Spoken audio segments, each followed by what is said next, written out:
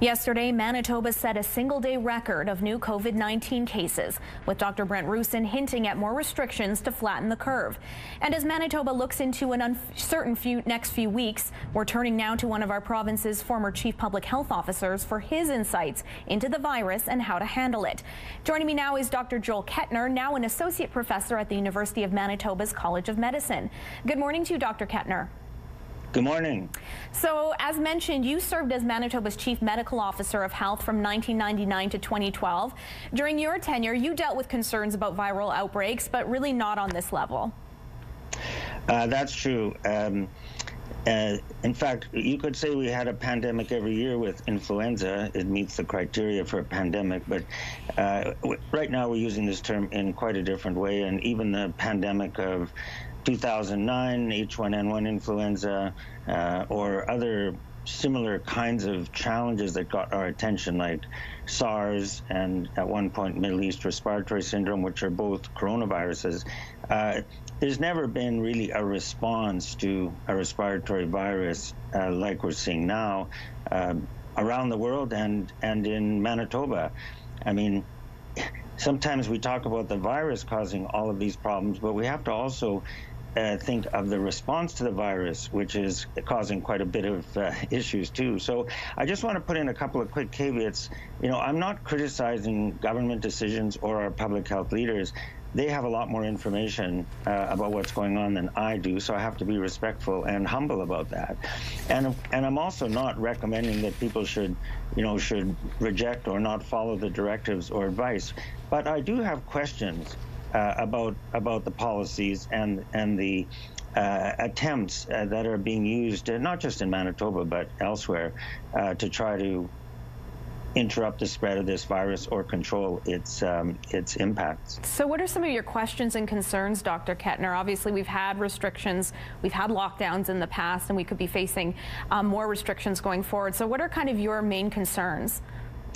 Well, in public health, we have to look at the big picture, and we have to think about uh, not just one disease, but all diseases and injuries and causes of morbidity and mortality. And we have to also think about the impacts of our interventions, the the side effects uh, we call them in medicine, but but the harms of interventions. And I think we're learning more about what those harms are and how they're maybe unfairly distributed and affecting people uh, differently based on, you know, single parents, uh, people working for hourly wages, small in, uh, enterprises which are closing, big effect on the on the economy and our deficit of government, impacts on education. I mean, we're learning more and more about what those harmful impacts are.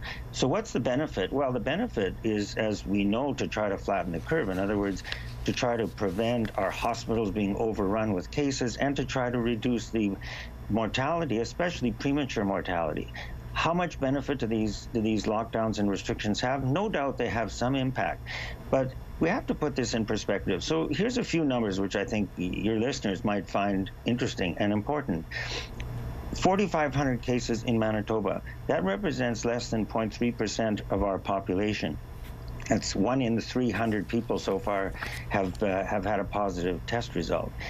58 deaths. That's one per 25,000 Manitobans. One in 25,000 Manitobans have died. That's less than 1% of all deaths. In other words, less than 1% of all causes of death. ICU admissions, 15. That's about 20% of our ICU beds. In a typical uh, flu season, uh, the majority of ICU beds are taken up by people with a variety of viral and bacterial causes of acute lung injury or pneumonia. And we, so far, from estimates, from descriptions of our capacity for ventilators, we're using up less than 1% of our ventilator capacity. So, Dr. And Kettner, now, what, are, what are you... I want to add one more point. Oh, hospitalizations, sorry. 83 hospitalizations. That's less than 3% of all our beds. So we just have to put into perspective the impact that this uh, disease is having. And and and on the one hand, and of course, one other very important point about this uh, disease, it's primarily affecting older people. 80% of our deaths in Canada are in people over the age of 85 and in and residents of personal care homes.